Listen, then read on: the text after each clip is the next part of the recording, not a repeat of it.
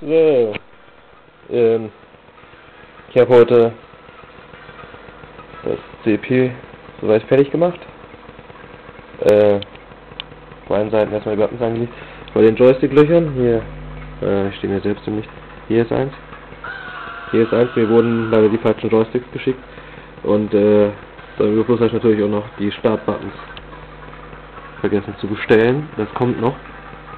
Aber ich zeige euch mal ganz kurz, was ich ähm, soweit gemacht habe. Und zwar kann ich jetzt schon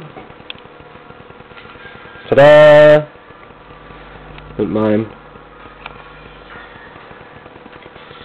Control Panel soweit arbeiten. Also ich habe die Buttons einfach nur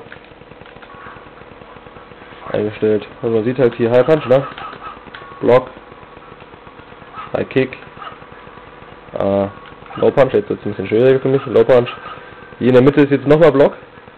Das ist halt für Street Fighter oder äh, Killer Instinct oder halt noch andere Spiele. Ähm, oder natürlich der Low Kick. Den Run-Button kann ich jetzt natürlich nicht zeigen, weil ich dafür meine zweite Hand bräuchte, um an die Tastatur zu kommen. Das gleiche ist jetzt natürlich auch hier für Player 2. High Punch, Block, High Kick, Low Punch, noch schon wieder der Block. Es wird dann halt der mit Kick oder mit Punch, je nachdem was es sein gespielt wird. Äh, ja, der Low Kick und halt den Run Button, den ich wieder nicht zeigen kann, weil mir halt eine Hand fehlt. Soweit geht der iPad. Mein Control Panel ist fast fertig, außer dass ich halt gestern noch die äh, Plexiglasscheibe zerstört habe. Aber aus akutem Geldmangel werde ich mir die erst später zulegen und